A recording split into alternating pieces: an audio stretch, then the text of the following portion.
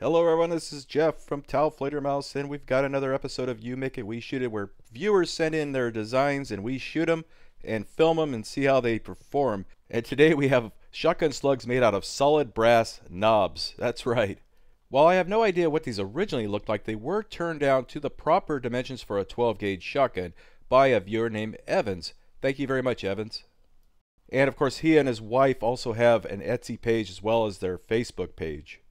Now these are one ounce slugs or 28 grams if you live on the continent. And on the base we have a steel washer. This is a support disc which gives the wadding something solid to push against. Okay, let's head on out to the test range and see how these perform.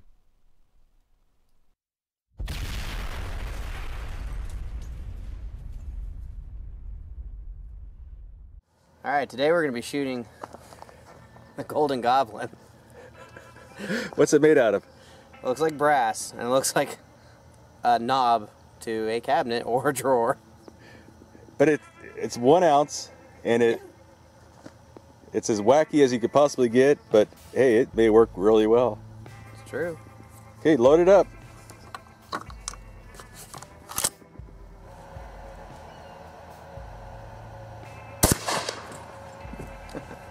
wow.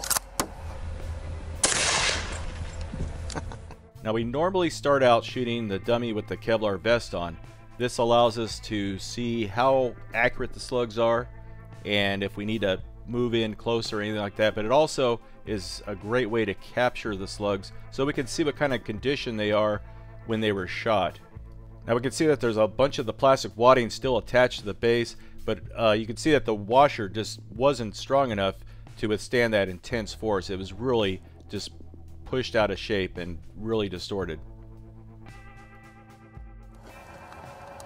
Ready? Yep.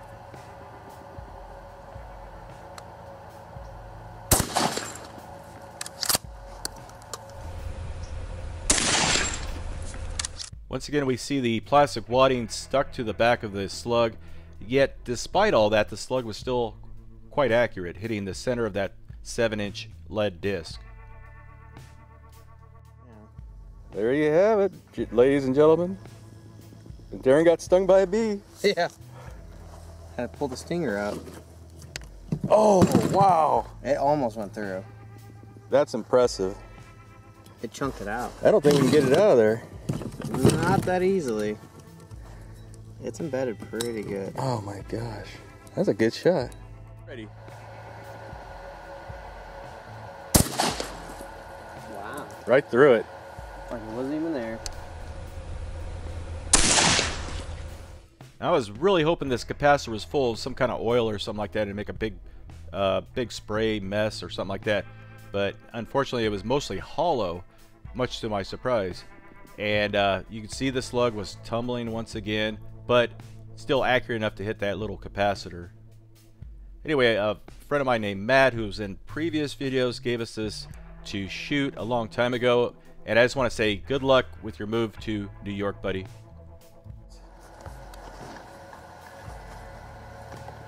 All right, ready? I'm ready.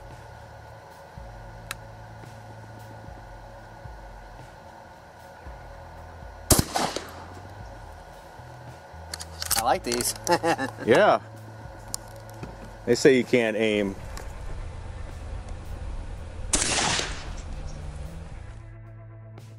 Now this may be a pretty small engine, yet it's a pretty tough engine, especially in that location right there. Right behind there is the crankshaft, and uh, I don't know if anything could actually get through. I don't know if a 50 cal could go through that. Now Darren shook the engine out, and we found these pieces inside there. That's a fragment of the slug. Obviously hit something very hard in there, and then that washer once again. And finally, we've got this gigantic computer hard drive that Darren found somewhere. And uh, this thing is the biggest hard drive I've ever seen. And it's only 47 gigs. Now, I'm really curious how much this hard drive cost when it was new. It was probably something like $10,000. If someone can find out, let me know. Time to format a hard drive. Format it. That's Hillary's hard drive right there. Old school from the early Clinton administration.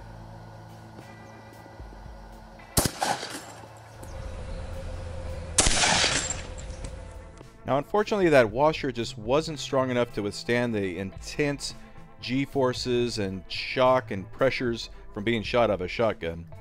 But these slugs were very consistent as far as accuracy goes. Despite all that, it was still an enjoyable slug to shoot because they were accurate.